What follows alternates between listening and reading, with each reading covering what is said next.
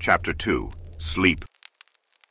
Sleep, the life that occupies one third of our stay on Earth, is the natural door into the subconscious. So it is with sleep that we are now concerned. The conscious two thirds of our life on Earth is measured by the degree of attention we give sleep. Our understanding of and delight in what sleep has to bestow will cause us, night after night, to set out for it as though we were keeping an appointment with a lover. In a dream, in a vision of the night, when deep sleep falleth upon men, in slumbering upon the bed. Then he openeth the ears of men, and sealeth their instruction. It is in sleep and in prayer, a state akin to sleep, that man enters the subconscious to make his impressions and receive his instructions.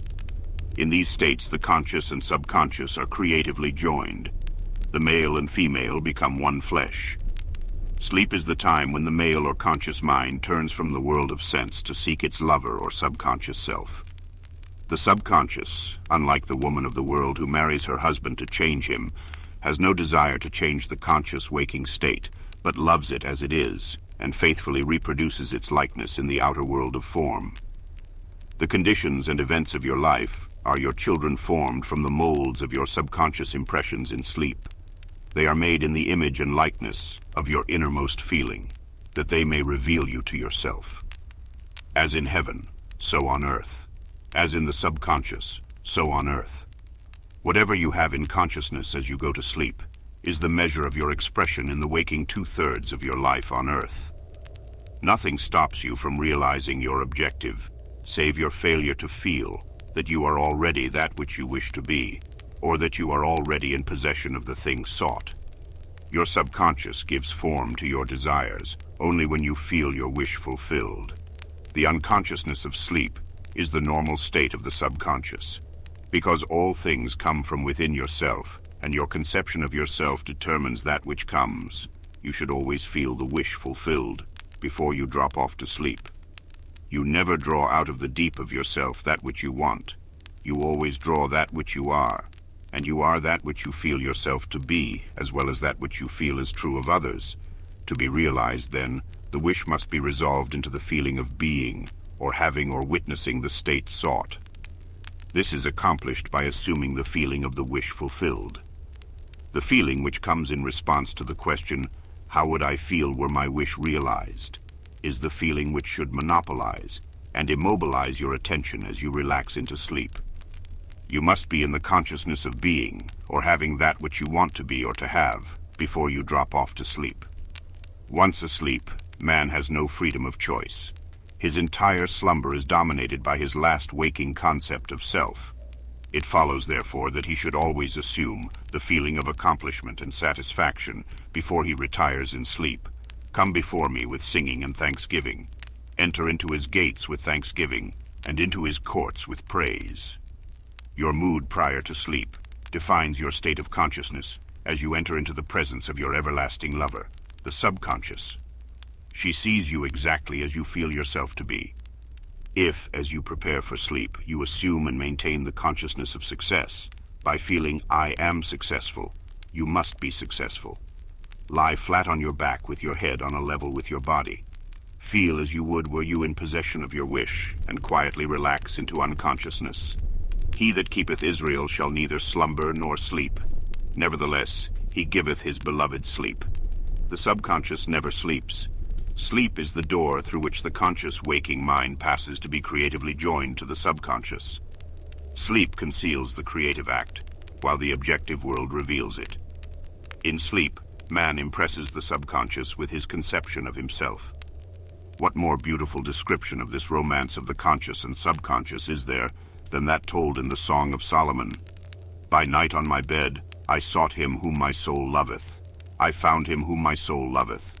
I held him, and I not let him go, until I had brought him into my mother's house, and into the chamber of her that conceived me. Preparing to sleep, you feel yourself into the state of the answered wish, and then relax into unconsciousness. Your realized wish is he whom you seek. By night on your bed you seek the feeling of the wish fulfilled, that you may take it with you into the chamber of her that conceived you, into sleep or the subconscious which gave you form, that this wish also may be given expression. This is the way to discover and conduct your wishes into the subconscious. Feel yourself in the state of the realized wish, and quietly drop off to sleep. Night after night, you should assume the feeling of being, having and witnessing that which you seek to be, possess, and see manifested. Never go to sleep feeling discouraged or dissatisfied. Never sleep in the consciousness of failure. Your subconscious, whose natural state is sleep, sees you as you believe yourself to be, and whether it be good, bad, or indifferent, the subconscious will faithfully embody your belief. As you feel so, do you impress her, and she, the perfect lover, gives form to these impressions, and outpictures them as the children of her beloved. Thou art all fair, my love, there is no spot in thee, is the attitude of mind to adopt before dropping off to sleep. Disregard appearances, and feel that things are as you wish them to be, for he calleth things that are not seen as though they were, and the unseen becomes seen. To assume the feeling of satisfaction is to call conditions into being, which will mirror satisfaction. Signs follow, they do not precede. Proof that you are will follow the consciousness that you are. It will not precede it. You are an eternal dreamer, dreaming non-eternal dreams. Your dreams take form as you assume the feeling of their reality. Do not limit yourself to the past. Knowing that nothing is impossible to consciousness, begin to imagine states beyond the experiences of the past. Whatever the mind of man can imagine, man can realize. All objective, visible states were first subjective, invisible states, and you called them into visible by assuming the feeling of their reality. The creative process is first imagining and then believing the state imagined. Always imagine and expect the best. The world cannot change until you change your conception of it. As within, so without. Nations as well as people are only what you believe them to be. No matter what the problem is, no matter where it is, no matter whom it concerns, you have no one to change but yourself, and you have neither opponent nor helper in bringing about the change within yourself. You have nothing to do, but convince yourself of the truth, of that which you desire to see manifested. As soon as you succeed in convincing yourself of the reality of the state sought, results follow to confirm your fixed belief. You never suggest to another the state which you desire to see him express. Instead, you convince yourself that he is already that which you desire him to be. Realization of your wish is accomplished by assuming the feeling of the wish fulfilled. You cannot fail unless you fail to convince yourself of the reality of your wish. A change of belief is confirmed by a change of expression. Every night, as you drop off to sleep, feel satisfied and spotless, for your subjective lover always forms the objective world in the image and likeness of your conception of it, the conception defined by your feeling. The waking two-thirds of your life on earth ever corroborates or bears witness to your subconscious impressions. The actions and events of the day are effects. They are not causes. Free will is only freedom of choice. Choose ye this day whom ye shall serve, is your freedom to choose the kind of mood you assume, but the expression of the mood is the secret of the subconscious. The subconscious receives impressions only through the feelings of man, and in a way known only to itself, gives these impressions form and expression. The actions of man are determined by his subconscious impressions. His illusion of free will, his belief in freedom of action, is but ignorance of the causes which make him act. He thinks himself free because he has forgotten the link between himself and the event. Man awake is under compulsion to express his subconscious impressions. If in the past he unwisely impressed himself, then let him begin to change his thought and feeling, for only as he does so will he change his world. Do not waste one moment in regret, for to think feelingly of the mistakes of the past is to reinfect yourself. Let the dead bury the dead.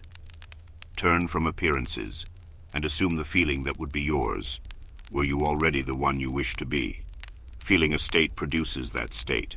The part you play on the world stage is determined by your conception of yourself. By feeling your wish fulfilled and quietly relaxing into sleep, you cast yourself in a star role to be played on Earth tomorrow. And while asleep, you are rehearsed and instructed in your part. The acceptance of the end automatically wills the means of realization. Make no mistake about this. If, as you prepare for sleep, you do not consciously feel yourself into the state of the answered wish, Then you will take with you into the chamber of her who conceived you, the sum total of the reactions and feelings of the waking day. And while asleep, you will be instructed in the manner in which they will be expressed tomorrow. You will rise believing that you are a free agent, not realizing that every action and event of the day is predetermined by your concept of self as you fell asleep. Your only freedom, then, is your freedom of reaction.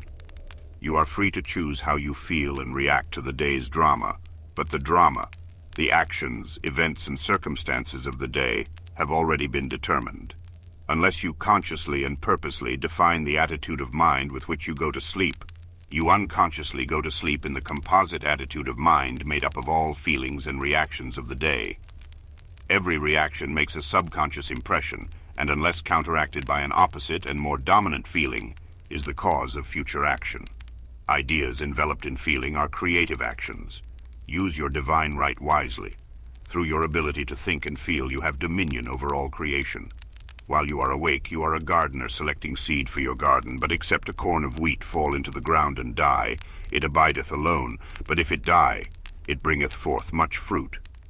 Your conception of yourself as you fall asleep is the seed you drop into the ground of the subconscious. Dropping off to sleep feeling satisfied and happy compels conditions and events to appear in your world which confirm these attitudes of mind.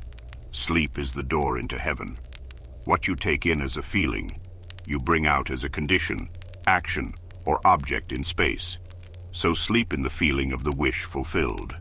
Chapter 3 Prayer Prayer, like sleep, is also an entrance into the subconscious.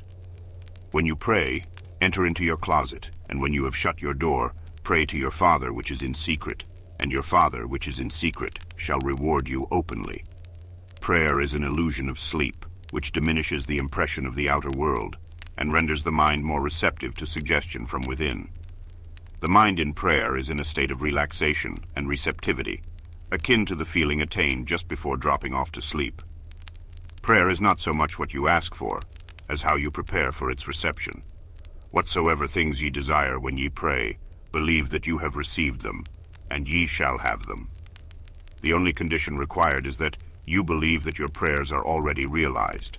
Your prayer must be answered, if you assume the feeling that would be yours, were you already in possession of your objective.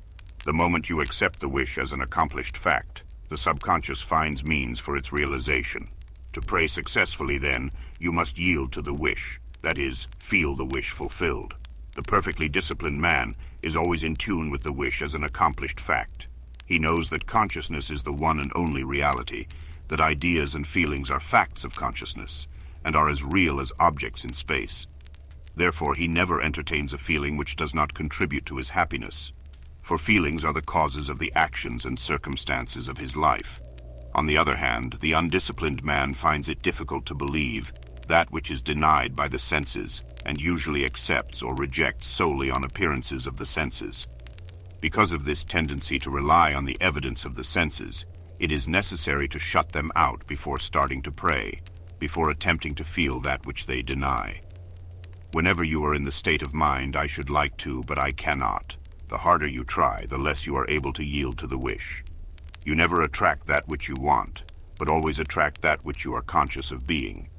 Prayer is the art of assuming the feeling of being and having, that which you want. When the senses confirm the absence of your wish, all conscious effort to counteract this suggestion is futile and tends to intensify the suggestion. Prayer is the art of yielding to the wish, and not the forcing of the wish. Whenever your feeling is in conflict with your wish, feeling will be the victor. The dominant feeling invariably expresses itself. Prayer must be without effort. In attempting to fix an attitude of mind which is denied by the senses, effort is fatal. To yield successfully to the wish as an accomplished fact, you must create a passive state, a kind of reverie or meditative reflection, similar to the feeling which precedes sleep. In such a relaxed state, the mind is turned from the objective world and easily senses the reality of a subjective state.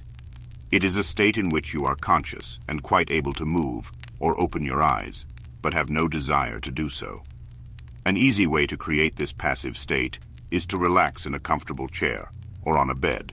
If on a bed, lie flat on your back with your head on a level with your body. Close the eyes and imagine that you are sleepy.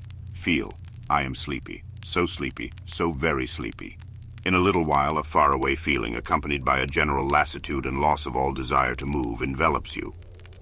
You feel a pleasant, comfortable rest, and not inclined to alter your position, although under other circumstances you would not be at all comfortable. When this passive state is reached, imagine that you have realized your wish, not how it was realized, but simply the wish fulfilled. Imagine in picture form what you desire to achieve in life. Then feel yourself as having already achieved it. Thoughts produce tiny little speech movements, which may be heard in the passive state of prayer, as pronouncements from without. However, this degree of passivity is not essential to the realization of your prayers. All that is necessary is to create a passive state and feel the wish fulfilled. All you can possibly need or desire is already yours. You need no helper to give it to you. It is yours now. Call your desires into being by imagining and feeling your wish fulfilled. As the end is accepted, you become totally indifferent as to possible failure, for acceptance of the end wills the means to that end. When you emerge from the moment of prayer, it is as though you were shown the happy and successful end of a play, although you were not shown how that end was achieved. However, having witnessed the end, regardless of any anticlimactic sequence, you remain calm and secure in the knowledge that the end has been perfectly defined. Chapter 4 Feeling Not by might nor by power, but by my spirit, saith the Lord of hosts. Get into the spirit of the state desired, by assuming the feeling that would be yours, were you already the one you want to be. As you capture the feeling of the state sought, you are relieved of all effort to make it so, for it is already so. There is a definite feeling associated with every idea in the mind of man. Capture the feeling associated with your realized wish by assuming the feeling that would be yours, were you already in possession of the thing you desire, and your wish will objectify itself. Faith is feeling. According to your faith, feeling, be it unto you. You never attract that which you want, but always that which you are. As a man is, so does he see.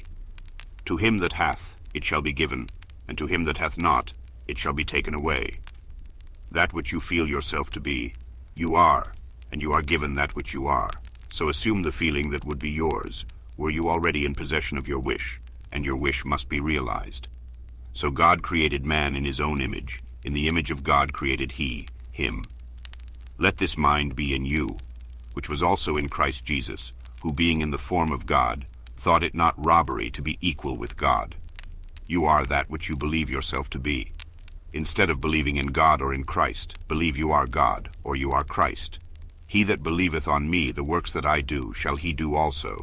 Should be, he that believes as I believe, the works that I do, shall he do also. Jesus found it not strange to do the works of God, because he believed himself to be God. I and my Father are one. It is natural to do the works of the one you believe yourself to be. So live in the feeling of being the one you want to be, and that you shall be. When a man believes in the value of the advice given him and applies it, he establishes within himself the reality of success.